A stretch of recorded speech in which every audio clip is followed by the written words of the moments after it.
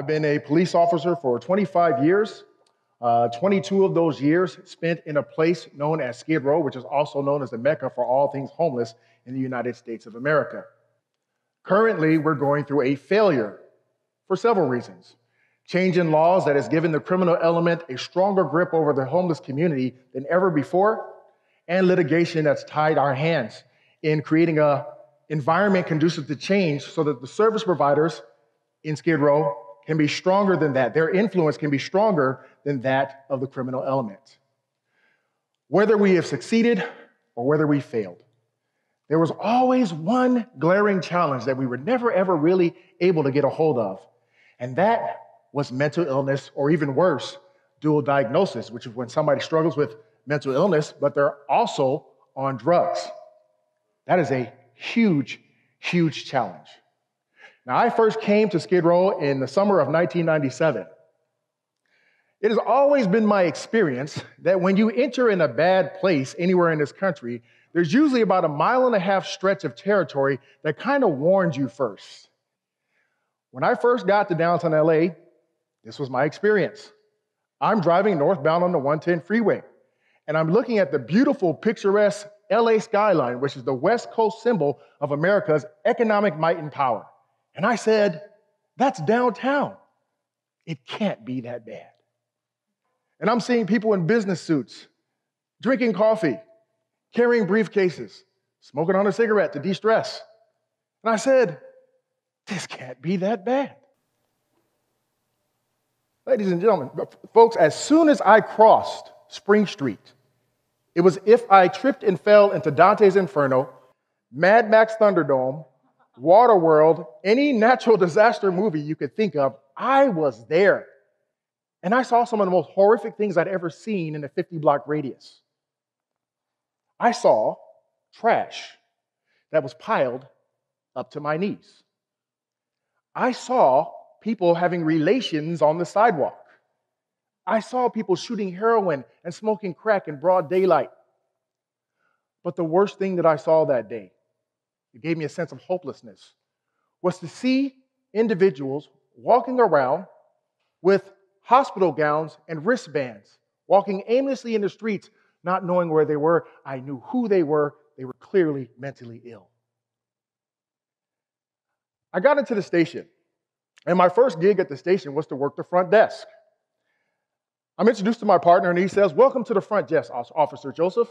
He says, Oh, by the way, Hurricane Linda's out. I said, Who's Hurricane Linda? This is where I was introduced to mental illness in the most extreme way possible. I thought I knew everything there was to know about mental illness. My mother and father, father raised 41 foster children. Some of them were on the spectrum of mental illness, dealing with trauma, sexual trauma, uh, physical trauma, neglect. I thought I knew. I helped raise my niece from birth up until she was 33 years old. She also was on the spectrum of mental illness. I thought I knew. I was not prepared.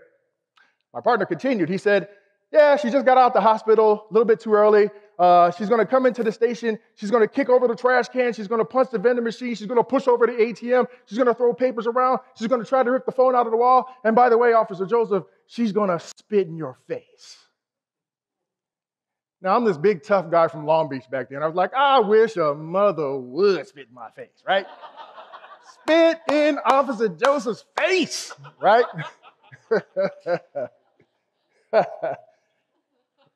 No sooner than I said that, the hurricane comes swirling in to the station. She kicked over the trash can. She punched the vending machine. She pushed the ATM. She ripped the papers off the wall and then tried to pull the phone out of the wall. And then she sees me, the new face. And her eyes got big and she approaches the front desk and she puts her finger in my face and says, You're my little brother. Uh, ma'am, I don't know you. I'm sorry. And then she puts her fingers up to her lips and says, Shh, it's your birthday. I look at my partner, I say, What do I do here, boss? He says, Tell her it's your birthday, stupid, so we don't get in trouble. All right. Happy birthday to me, right? No sooner than I said that, her eyes got big and she smiled as wide as the ocean. And she flew out of the station. She came back an hour later wearing nothing but a trench coat. She stands in front of me and she rips open her trench coat and pulls out a giant plush Tweety bird and slams it on the desk. Bam! Happy birthday, little brother. I'm like, thank you, but why did you get me this? She said, because your head is shaped just like it. now, if I wasn't already self conscious about the good Lord taking my beautiful wavy hair, but really, a mentally ill woman who was a drug addict was the first human being to make me laugh since I got to Skid Row.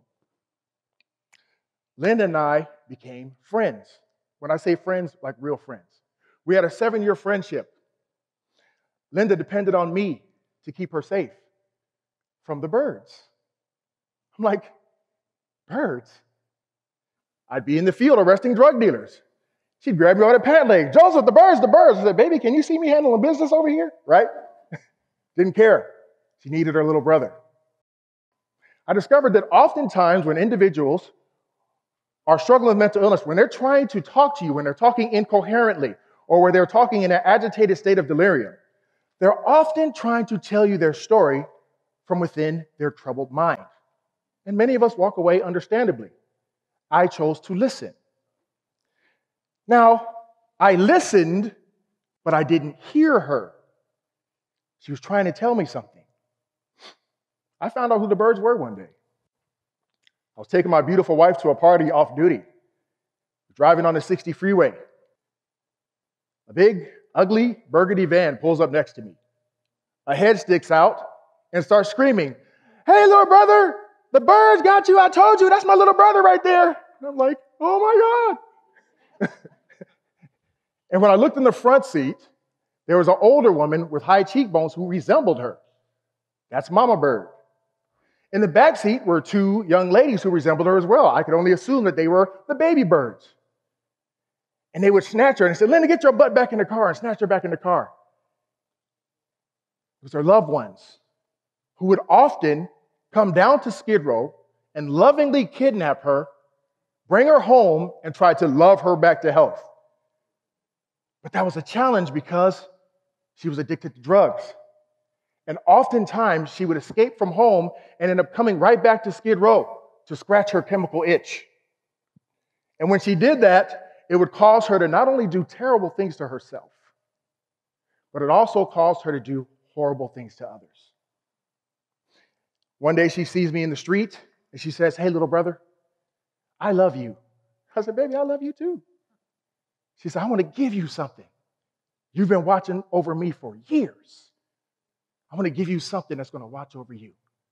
And she gave me this porcelain angel. I've held on to this for 15 years of my life. I loved her.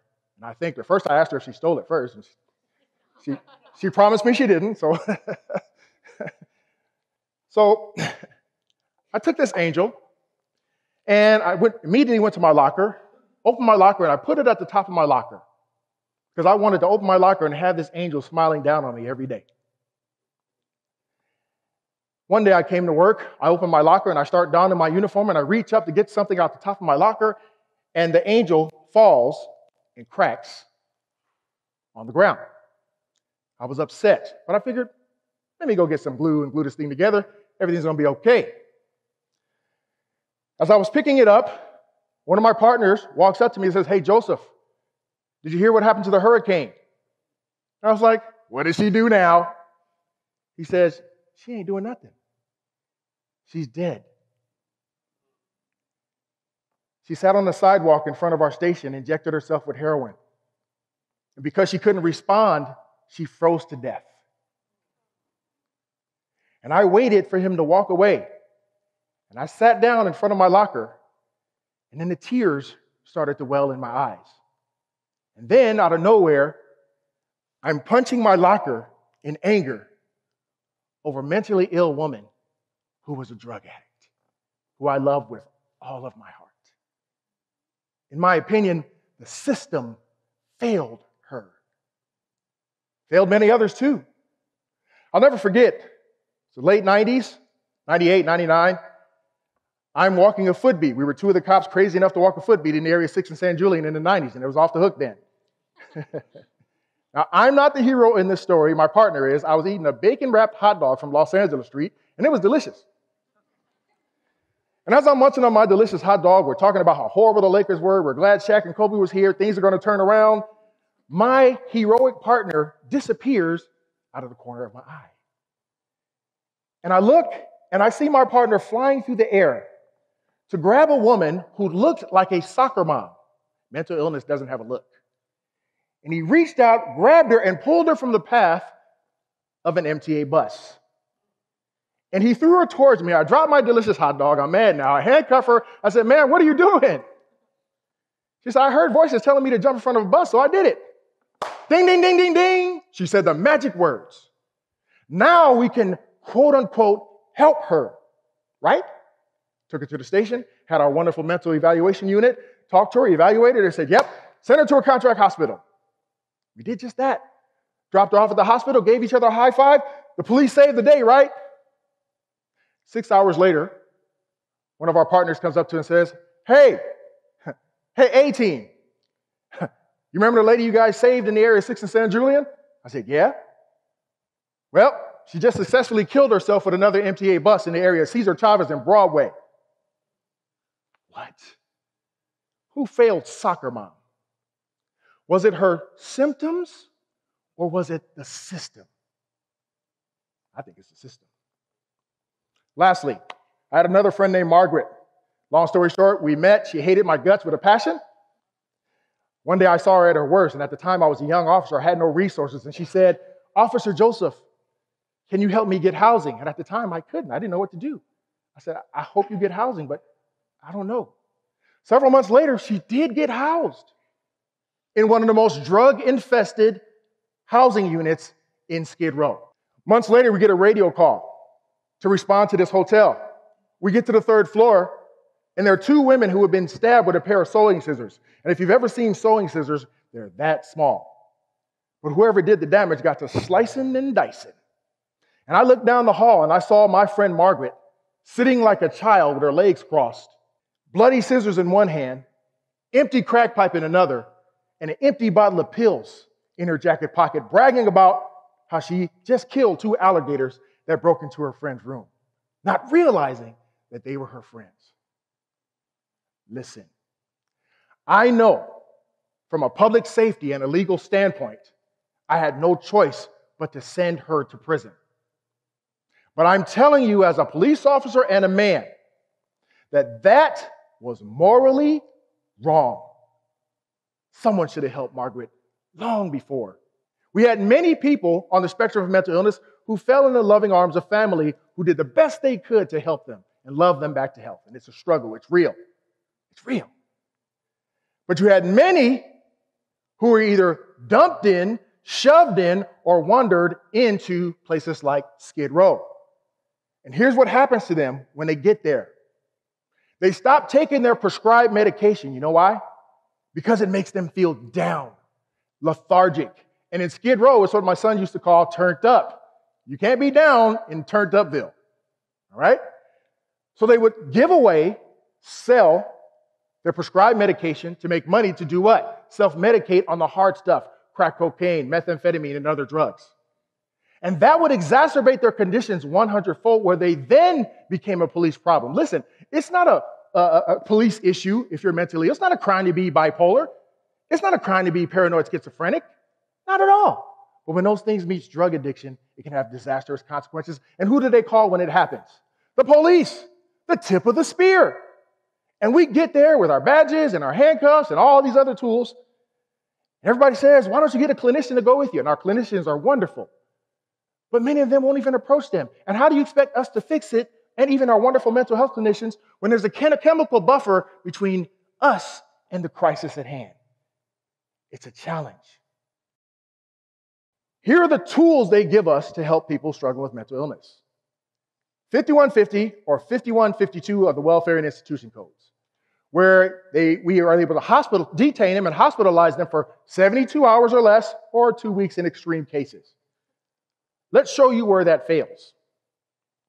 Anybody here ever try to get washboard abs?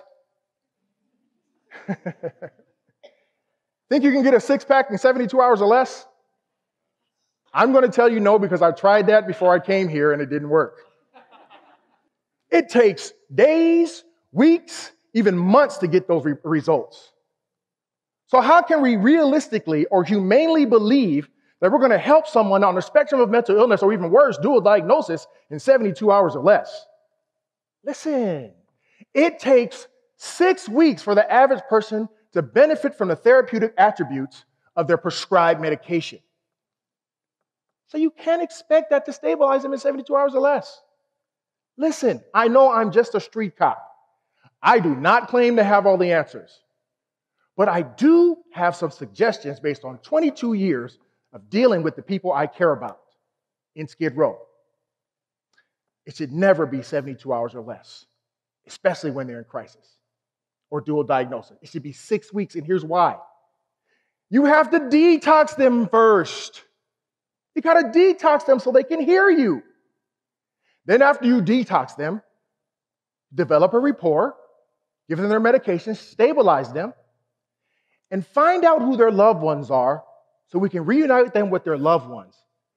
The next step is we have to ask our politicians to streamline and quicken the process of conservatorship because it's too long and it's too late.